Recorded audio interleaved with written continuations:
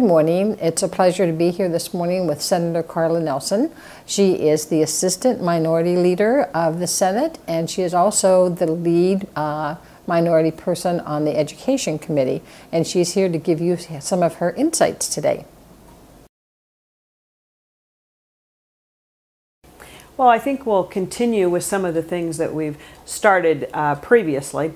Um, I think we'll continue looking at closing the achievement gap. It's not acceptable uh, that our state has the highest achievement gap in the nation. And now the question is, how do we go about closing that? Uh, particularly in our district, uh, our English language learners are doing better than the rest of the state. Uh, but yet uh, there is a, a, significant gap there. It's a growing part of our population. So we need to look at how can we better ensure that these new English language learners are achieving so that they will be ready for college and career as they progress. And um, there's different ways to do that. One thing we did last year that was helpful was the bilingual seals, which is actually honoring and um, understanding the achievement and the value of being bilingual.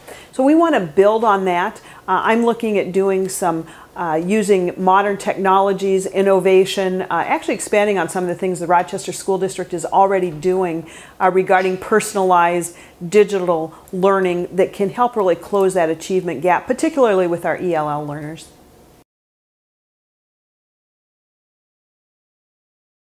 Well, I think the campaigns in general, uh, even statewide, have been pretty silent. Uh, it's certainly not been, uh, we haven't seen that many uh, distinctions uh, regarding education. In fact, it kind of pains me that education hasn't really gotten as much discussion as it needs and as it uh, must have. Uh, but I think you will see a little bit of difference in um, education priorities, whether they are more metro centered or more outstate. Uh, one of the campaigns is very focused on outstate, one is more focused on the metro area. And Rochester's kind of a unique situation because while we're certainly not metro, uh, our district is much like many of the metro districts, although of course we're very glad we have higher achievement levels.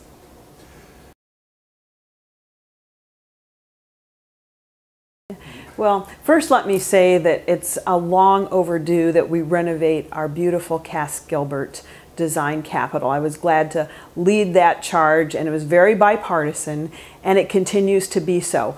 But in the short term, there are definitely going to be some challenges this legislative session.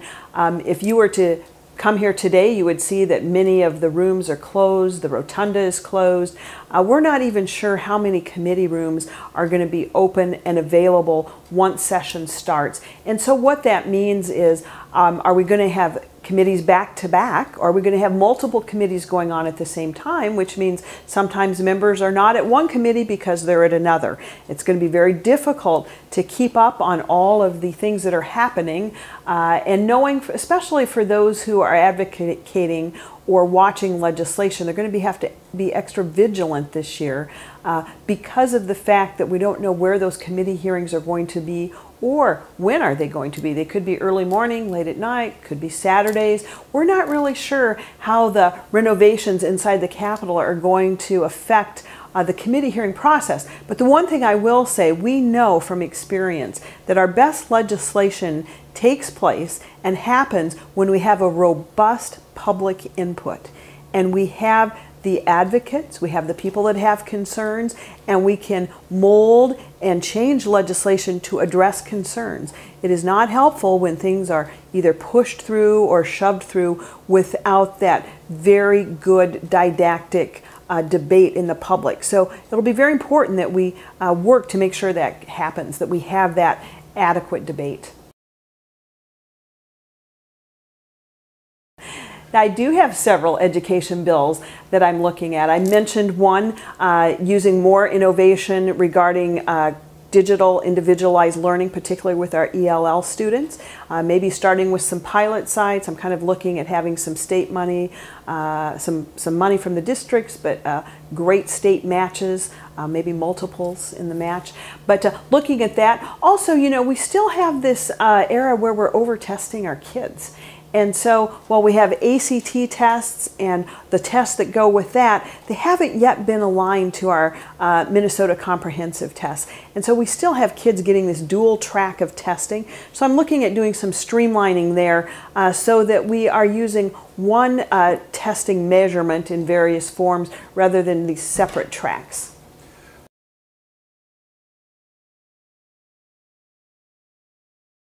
Well, the question is uh, divided government does allow for that didactic interplay between ideas, and sometimes, while it's painful to watch, sometimes you end up with better legislation when all ideas and all viewpoints have been brought to the table.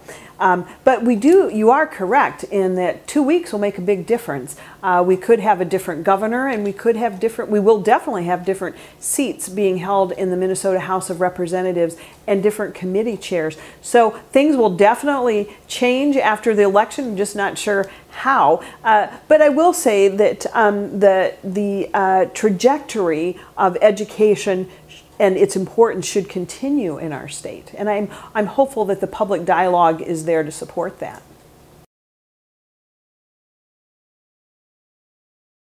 And so, one of the best ways that I can best represent you, or any of your representatives, senators, can do that, is by knowing what it is that is important and prioritizing that. And then getting it to us in a timely manner. Because session will start it starts earlier this year. It's going to start early in January. And because of all of the different uh, going on with the Capitol uh, and the hearings. Hearings might even be shorter. Uh, we just don't know. So it's going to help if you can be very focused and tell me what are those initiatives that are important to the Rochester School District. And I've already visited with some board members, some of you, uh, our superintendent, uh, some teachers. But I would encourage moms and dads and teachers across the district and business owners, people that are concerned about making sure that we have that high quality education, to contact me with your ideas. And quite frankly, the sooner the better. We need to have legislation ready. In fact, I was working on some education uh, legislation drafts this morning, even. So it's important that we get that legislation early, not only so we can get the drafts in place, but so that we can pull together those supports that we need, uh, in this case within the Senate, so we can assure passage.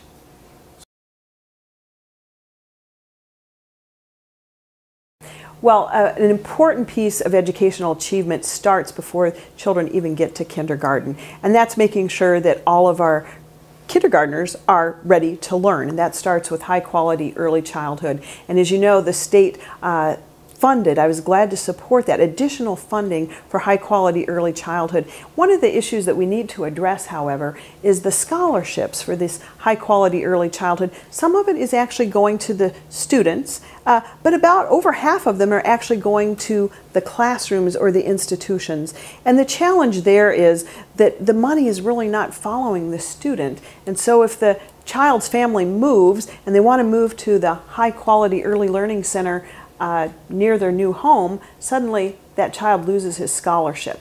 And so I don't think that was the intent of the legislation. The money was there to empower parents, in this case low income parents, to help them get that high quality early childhood.